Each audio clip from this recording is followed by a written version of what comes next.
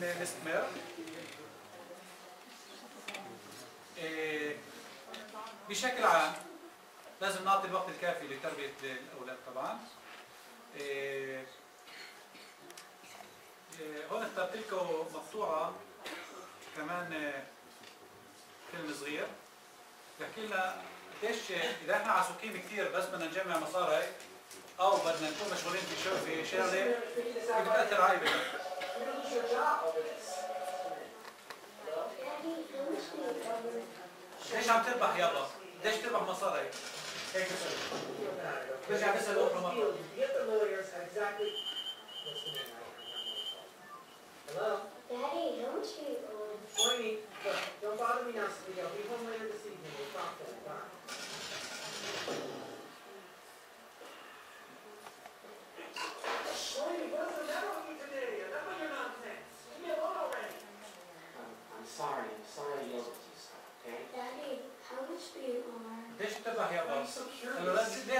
Hey, Daddy,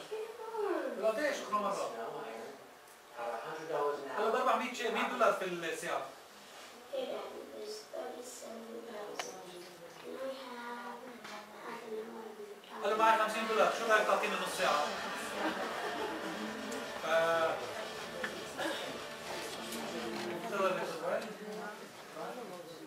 إخوان كلنا كلنا مشغولين وأنا كمان تارك اولادي وجاي لهون لازم للرجال إيه، بتعلم كمان النساء امرار بتشتغل مثلا بنشتغل طبعا بلا شغل بلا ما نجيب المصاري للبيت مش راح نقدر نعيش خلينا نقول إيه، بشكل منيح. ولكن نقدر لازم نعطي نعطي وقت لابننا. حتى لو عم يشتغل ومشغولين كثير لازم بينفع نقعد مع ابننا نص ساعة في النهار. ساعة ينفع يعني ناخذ لنا نص ساعة لنتحدث نحكي نشوف شو صار في المدرسة اليوم إيه شو تعلمت؟ شو شيء جديد أخذته؟ إيه شو لقيت صعوبة؟ شو رأيك؟ الحوار الحوار نرجع للحوار هذا اذا كل يوم أعطينا من من وقتنا نص ساعة لإبننا. بفكر كثير منيح. كل يوم حلو نبلش نحكي كمان كل يوم شو صار معه؟ كان. اما لما نسمع المهم كثير ان إحنا نطلع في نسمع في بشكل خلينا نقول نقدي نقد بناء. يعني مش إنه نسمع القصص بس مشان نسمع قصص شو عم بيصير. إلا نحاول نتعلم منها. أي نقطة مثلا شغله حكاها اللي فيها لازم إحنا نحكم تفكيرنا إذا في من هاي النقطه مجال نحاول نعمل شيء مشان نحسن في ابننا نستغل كل ظرف كل كلمة كل الحكي إذا بيجي معي ابني مثلا بقول المعلم هذاك مش منيح معلم ما لعبنيش في الرياضة اليوم لسه ممكن أخذها ك كعفدة كحقيقة ممكن اسمع هاي الكلمة أقول له ليش يا بطول روحك؟ ليش ما لعبكش؟ ليش شو السيري؟ إيه بلكي في غيرك كمان لازم أنت تلعب فكرك أكثر، يعني بحاول أنا أناقش الولد إنه في غيرك كمان بده يلعب مثلا اذا شايف حاله إنه بفكره يلعب كل الوقت مثلا. يعني إحنا أي حديث بيصير مع الطالب على أساس إنه مع ابننا وعلى أساس إنه نحاول نتعلم كيف بيفكر الولد. الحوار هذا هدفه نعرف شو بفكر كيف بفكر هل بفكر بالشكل الصحيح إذا بفكرش بالشكل الصحيح كيف نوجهه للتفكير الصحيح؟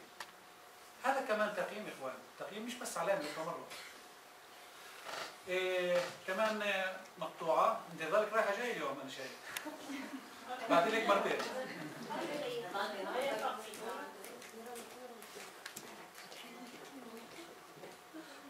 إيه